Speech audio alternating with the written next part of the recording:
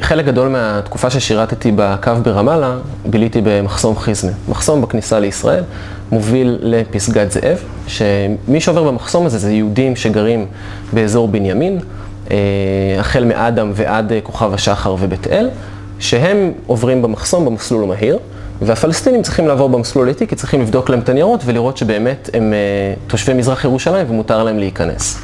עכשיו, מחסום זה חוויה בשביל חייל, אחת החוויות הכי נוראיות שיכולות להיות. אתה עומד 6 או 8 שעות, אתה עומד בשמש, אתה עומד בגשם, בכל מזג אוויר, אתה גם עומד על הרגליים עם אפוד קרמי ששוקל איזה 10 קילו, ועם הווסט, ועם הנשק, וזה מתיש, וזה קשה, וזו עבודה מעצבנת ומונוטונית, היא משעממת. אתה כל היום מסתכל במסמכים, אתה מסתכל על הבן אדם, רואה שזו אותה תמונה, שואל אותו כמה שאלות ונותן לו לעבור.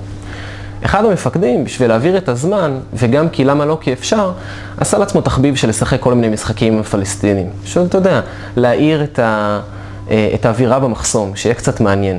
אז הוא עושה להם כל מיני משחקים. מכונית פלסטינית מגיעה למחסום למשל, ואז הוא מסתכל על הנהג, אומר לו חמש שניות תן לי את התעודה. הוא אומר תן לי את התעודה, הוא מתכוון תעודת זהות, כן? חמש שניות, ג'יבל אוויה. עכשיו הפלסטיני לא קולט בכלל מה קורה. הוא אומר, מה זאת אומרת חמש שניות? אם הוא, התעודה למשל נמצאת בכיס האחורי או בכיס של, ה, או בכיס של החולצה, אם זה לא נמצא עליו, הוא בחיים לא יצליח לעשות את זה בחמש שניות, כן?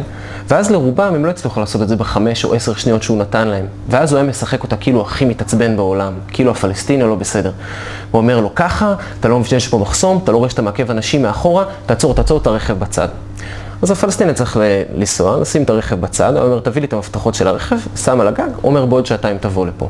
ומחכה, הפלסטיני היה צריך לחכות שעתיים, אחרי שעתיים היה צריך להתניע את הרכב, לעשות את כל סיבוב, ללכת לסוף התור, לאט לאט לנסוע למחסום, להגיע, ואז הוא עוד פעם היה אומר לו חמש שניות נתת לי את התעודות, והוא כבר היה מוכן, נותן לו את התעודות, ואז הוא אומר לו, אתה רואה? עכשיו אתה בסדר, ונותן לו לנסוע.